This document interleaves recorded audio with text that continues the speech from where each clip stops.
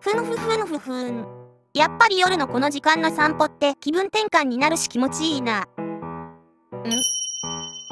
このトンネルってこんなに暗かったっけ？あよく見たら何個か照明が切れてめっちゃ暗いじゃん。どうしよう。ここ通らないと家までめっちゃ遠回りになるし。あ、そうだ。スマホのライトを使えばいいだけじゃん。僕って頭いい。それじゃあスイッチオン。ひー。光に虫が寄ってきた。とんでもなくでかい釜でやってきたし。それは蚊じゃないわよ。いやあ狐の妖怪まで出てきた。誰が狐の妖怪よ。というわけで今回は、ガガンボについて紹介するわ。ガガンボ？アフリカの楽器か何か？確かにそれっぽいけどそうじゃなくてね。タヌキさんの顔に飛んできた、顔一回り大きくしたような昆虫の名前のことよ。田舎の方だと特に街灯をめがけて飛んできたり、壁に張り付いていたりするけど、その大きさからぎょっとする人も少なくないわね。すごく細くて弱そうな昆虫だけど、さすがにこのサイズはビビるよ。虫が苦手な人からすると怖いかもしれないけど、実はこのガガンボ。史上最弱の昆虫。という別名が付けられるほどか弱い昆虫なのよ。史上最弱？ガガンボは、ハエ目かア目、ガガンボ科に分類される昆虫全般を指す呼び名で、世界中の様々な地域に生息しており、日本に生息する学名のついているガガンボだけでも700種。学名のついていない未記載種や世界全体では、およそ1万5000種のガガンボがいると言われているわ。あの虫ってそんなに仲間がいたの？主に、春から秋にかけて繁殖し、一度に300個の卵を草むらに産みつけ、孵化した幼虫は、土の中で植物を食べて成長し、翌年の春にさなぎへとなる。成虫になるとガガンボは、ようやく長い土の中生活を脱して地上へと飛び立つわ。そんなガガンボの特徴といえば、なんといってもその、かそっくりの見た目。不思議な名前であるガガンボの由来は、蚊の母と書いて、ガガンボから来ており、漢字で書くと大きな蚊と書いて、大蚊というそのまんまな名前が付けられているわ。名前の由来も蚊にちなんでいるんだね。体長5ミリ程度の蚊に対して、ガガンボは体長7から35ミリ程度、最大6倍ほどの大きさで羽も巨大。中にはこのように小さな種類や手のひらサイズの巨大なガガンボもおり、蚊ではないものの、分類的には蚊に近く、細長い体に触覚のような長い足を持っているため、日本では別名カトンボ、海外ではツル、クレーンのような細長い足から、クレーンフライとも呼ばれているわ。そうそう、カトンボで思い出したけど、刺されたらめっちゃ腫れるんだよね。え？え？ガガンボは刺す昆虫じゃないわよ。な、なんですと？あの蚊にそっくりな見た目で巨大なら刺されたらさぞかしやばいだろう。日本ではともかく、海外では危険な感染症を媒介して、人間の命を脅かしている蚊の仲間に違いない。という誤解をガガンボは受けやすく、それが理由で嫌われている部分が大きいんだけど、彼らが主食としているのは、なんと花の蜜、蚊のように人間や動物を吸血することはないわ。まさかの花の蜜を吸うだけだったとは。ちなみに本家の蚊は、産卵に備えて、メスだけが人間や動物を吸血するんだけど、ガガンボは、オスもメスもどちらも主な食料は花の蜜で、人に直接危害を与えることはない。見た目のインパクトはあっても無害な昆虫なのよ。中にはガガンボ、カトンボに刺されて腫れてしまったという人がいるけど、彼らは完全に無実で、全く別の吸血する害虫と混同していると思うわ。なんだかかわいそうな誤解しつってたな。今回はせっかくだから、ガガンボと混同勘違いされやすい昆虫もいくつか紹介しておくわ。まずはハエの仲間である、体長8から30ミリ程度のパブ。日本には約100種が生息しており、その中でも吸血するのは約10種程度。血を吸うのは、蚊と同じくメスのみだけど、夏は、綺麗な水の近くや湿気の多い森で飛び回っているため、キャンプやレジャーの最中にチクッと刺され、蚊よりも強いかゆみと腫れを伴うわ。あれ？アブって蜂みたいなイメージがあったけど、こんなにハエっぽい見た目なんだ。そして、蚊の仲間であり、体長1から5ミリ程度のブユ。関東では、ブヨ、関西では、ブトとも呼ばれる、人を含む哺乳類や鳥類を吸血する衛生害虫で、日本では約60種が生息しており、蚊と同じように、水の中に卵を産みつけ、1ヶ月程度で成虫になるわ。その小ささから刺された時の自覚症状が少なく、半日から1日以降に強い腫れとかゆみを伴い、カヤーブと違い、厳密には皮膚を刺すのではなく、噛み切って血を吸うため、内出血のような跡が残ったり、注入される毒素によって、時間の経過とともに悪化するわ。皮膚を噛み切るとか、小さいのにめちゃくちゃ恐ろしいじゃん。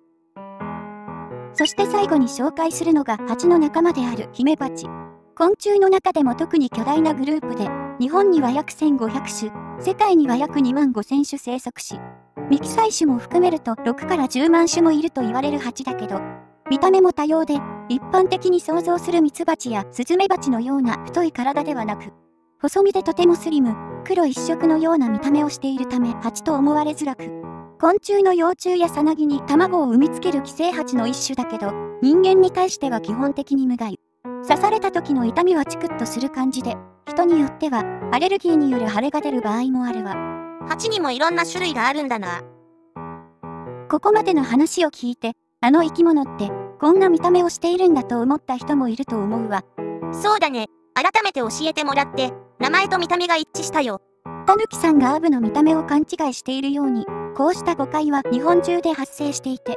例えばアブのことを蜂のような見た目と勘違いしていたり、ブユのことをガガンボと勘違いしてしまったりね。まあ昆虫に詳しくない人からすれば、どれも大きくて危ない感じの虫に見えるよね。カトンボ、アブ、ブユ、ハチ、この4匹が勘違いにより、名前と見た目、生態がごちゃ混ぜになり、勘違いしたまま、大人から子供へ、代々伝言ゲームのように間違いが伝わっていき、いつしかカトンボ、ガガンボが、一部でアブそのものと誤解されてしまったり、大きくて蚊にそっくりだから、この昆虫も刺す害虫に違いないと思われて駆除されているのよ。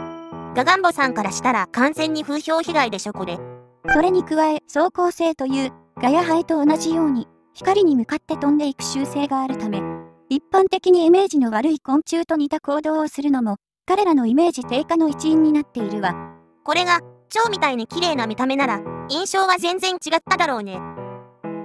そんな浮き目に合ってる、悲しいガガンボだけども、その一生もとても儚く悲しく、弱い昆虫だと揶揄されているわ。具体的にどう弱いの？まず一つ目は、寿命が短い。ガガンボは、春頃に卵が生まれ、そこから約1年かけて、地中や水辺で成長するんだけど、ようやく成虫になって飛び立っても、そこから生きられる期間はわずか10日程度なのよ。1年も土の中にいたのにたった10日だけ？これは、蚊の一生に比べてもとても短いもので、一般的な蚊は、卵からさなぎまでの期間が1から2週間程度で、成虫の寿命は1ヶ月程度。こうした成虫の期間が短い昆虫というのは、他にも、ユスリカという昆虫がいるわ。彼らは、口や消化器が退化しているため、そもそも成虫になってから餌を食べられず、わずか1週間程度の寿命の間に仲間たちと合流して空中で交尾をし産卵する。つまり、ガガンボやユスリカにとって、成虫の姿は一人前の大人の姿というわけではなく、効率的に繁殖するための一つの形態としか見なしていないわけね。今度から見かけたらそっとしといてあげよう。次に二つ目は、飛ぶのが下手。こんなに立派な羽が生えてるのに？ガガンボは、自身の体長に匹敵するほどの15から20ミリ程度の立派な羽が生えており、これだけ大きければ、さぞかし俊敏に飛べるだろう、と思いきや、全くそんなことはなく、空中で飛んでいる姿はふらふらふらふら、遅い上に心配になるほどの蛇行飛行。一部はスピードの速いガガンボもいるものの、その多くは人間の反応速度でも簡単に捕まえられるほどで、丸めた新聞紙や棒があれば、適当に振り回すだけでも叩き落とせるし、ちょっと強い風が吹けば吹き飛ばされるぐらい飛ぶのが下手なのよ。むしろでかい羽のせいで完全に振り回されてない？そして3つ目は、規制される。これだけ大きくて飛ぶのも下手だと、鳥やカマキリなどの天敵にも狙われやすいんだけど、命の危険があるのは地上に出てからだけじゃなく、地中でも同様。幼虫は、寄生バエやキノコなどの寄生する菌類に狙われることがあるため、土の中にいても常に危険と隣り合わせなのよね。そんな危機を乗り越えて生まれるのが、最弱の昆虫という皮肉。最後の4つ目は、すぐバラバラになる。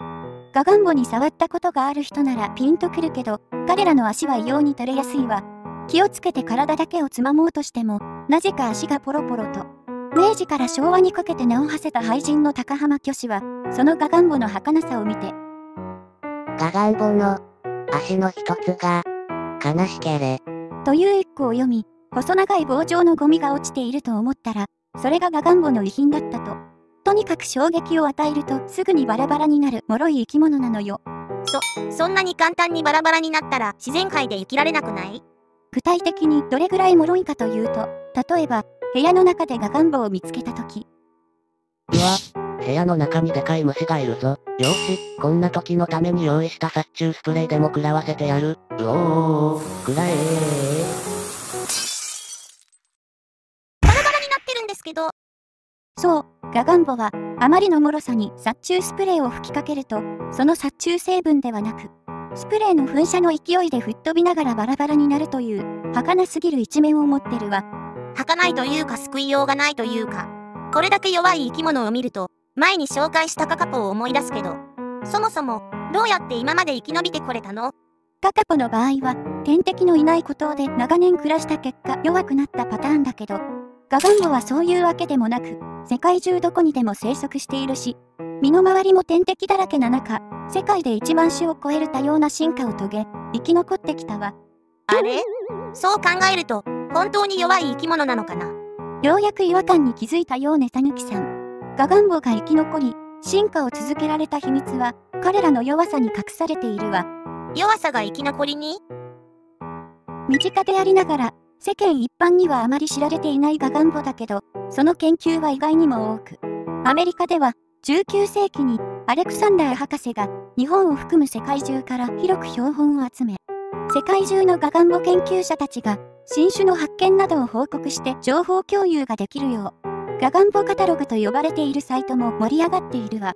本当に盛り上がってるのかな？なぜ、ここまでガガンボが弱い生き物なのか、すぐにバラバラになってしまうのか。日本でガガンボに詳しい、新潟県の私立里山科学館で研究員を務める加藤さんによると、おそらく、捕食者に襲われた際、足を切断して逃げるためと考えられます。長い足を目立たせ、体を守るためにも使われているのかもしれません。と、トカゲの尻尾切りのような役割があると回答しているわ。トカゲの尻尾切りって、確か天敵に襲われた時に尻尾をおとりにして逃げるってやつだよね。そうそう、トカゲの尻尾が異様に長く切れやすいのは、天敵に襲われた時にそれを切り離し、切れた尻尾に夢中になっている間に逃げるためで、トカゲの尻尾の筋肉は、節のように分かれていて切れやすくなっていることも分かっているわ。切った後に再生するまで、エネルギーをかなり消耗してしまうんだけど、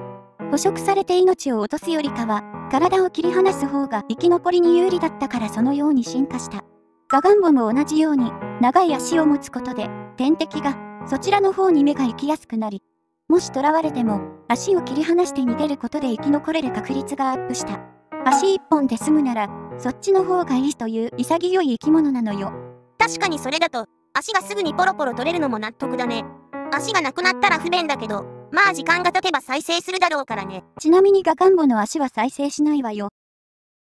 ダメじゃん